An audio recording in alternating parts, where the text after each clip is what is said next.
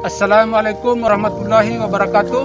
Selamat sore mitra darat. Kami dari Satuan Pelayanan Pelabuhan Penyeberangan Marisa, BPTD Wilayah 21 Provinsi Gorontalo, izin melaporkan kedatangan kapal KMP Ceki Apo pada H9 Lebaran hari ini Rabu 11 Mei 2022 untuk laporan selengkapnya sebagai berikut.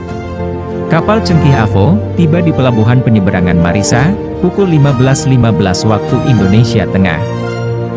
Untuk menghindari adanya penyeludupan barang berbahaya, pemeriksaan dilakukan secara ketat oleh petugas pelabuhan dibantu oleh kepolisian dan TNI Angkatan Laut. Pada kedatangan arus balik Hamen 9 Lebaran ini, jumlah penumpang masih mengalami kenaikan dari hari-hari sebelumnya. Total penumpang berjumlah 98 orang, terdiri dari 71 orang dewasa, 17 orang anak-anak, dan 10 orang penumpang dalam kendaraan. Kendaraan golongan 2, 8 unit, golongan 5, 1 unit, dan golongan 6, 1 unit. Barang lepas berjumlah 2.850 kg, terdiri dari 30 karung kopra, dan 9 box ikan.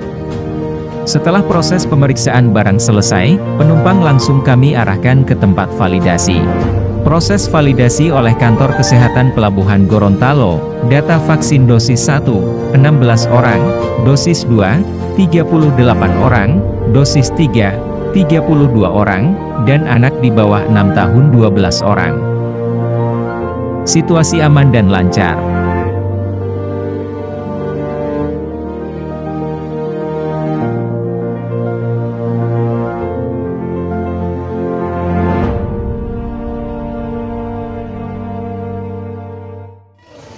Demikian laporan yang dapat kami sampaikan. Saya Ilyas Tahir, mewakili staf yang bertugas mengucapkan banyak terima kasih. Demikian, Assalamualaikum warahmatullahi wabarakatuh.